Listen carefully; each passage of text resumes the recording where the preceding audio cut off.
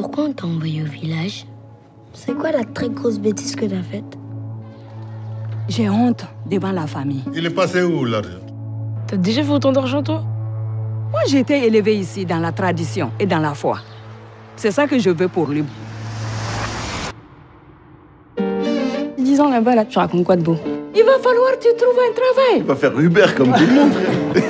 J'ai pas le permis. Personne n'a le permis ici. Et quel niveau scolaire vous avez? Islamologie et théologie. Et sinon, vous aimeriez faire quoi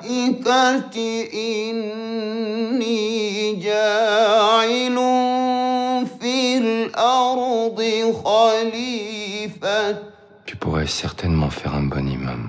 Imam, c'est pas un métier. Ta parole, elle touche. Bravo, vous allez booster la nouvelle génération. Regarde, ça partage de tous les côtés, les gars.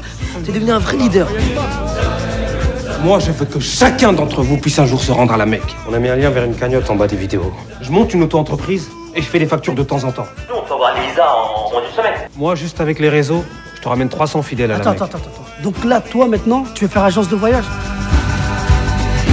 Oui, Ali, c'est ta sœur. C'est quoi ton business? Je commence à m'inquiéter. Ton histoire de visa, ça sent mauvais. C'est une arnaque. Les actes ne valent que par les intentions. Tu peux pas prendre le oseille, là.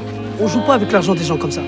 Surtout quand tes initiatives ne sont pas dans le périmètre de ta mission d'imam. Interroge ton intention.